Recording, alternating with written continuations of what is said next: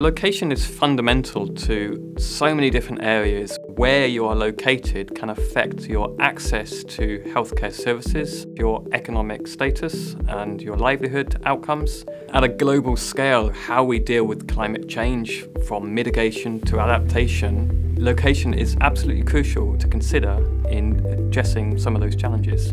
Geospatial science and technology is really about the um, science of where the location of everything. Tobler's first law of geography, everything is related, but near things are more related than things that are further away. So the geospatial science degree really looks at the issues associated with that and how to analyse them.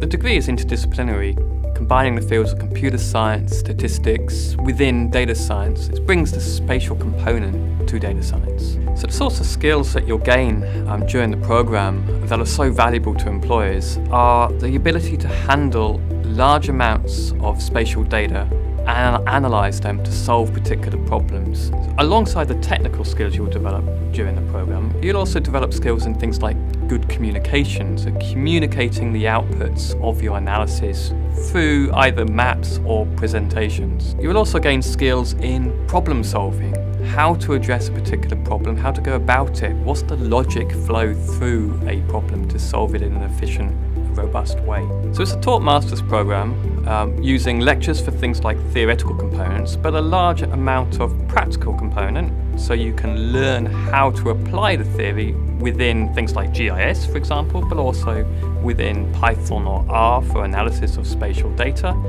as well as a broad range of elective courses where you can learn things like surveying, um, or uh, applying geospatial analysis to health issues, for example, all the way through to issues to do with policy development. The professional master's degree is structured over two semesters plus a summer project. So in the semesters you'll do some core courses and some elective courses to make up um, the bulk of the, the master's program. And then over the summer period you will work on a project which will be identified during the course of the year, but ideally we'll have an industry partner in there to help solve some of their challenges.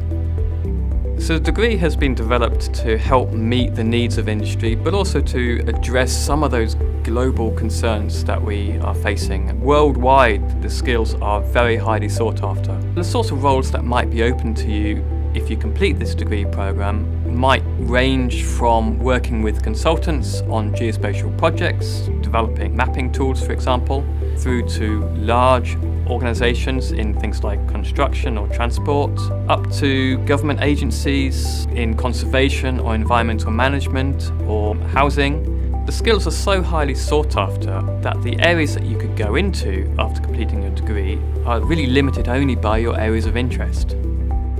The sorts of people who might want to study this degree will be those that are passionate about technology and using technology for the benefit of society. They range from current students, perhaps doing subjects as diverse as computer science through to environmental science or geography, to people who perhaps are looking for a career change, to upskill in a particular area to enable them to access a completely new career pathway.